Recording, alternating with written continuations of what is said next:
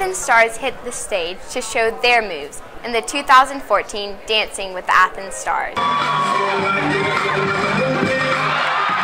The event was similar to the popular television show Dancing with the Stars, while aiming to raise money for the local nonprofit organization Project Safe.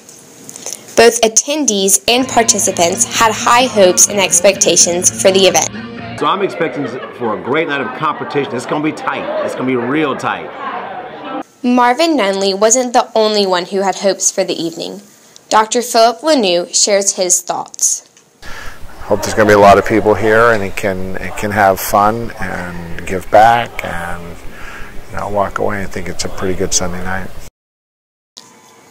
Ten teams performed pieces ranging from tap to trapeze, and three exhibition dances were also performed.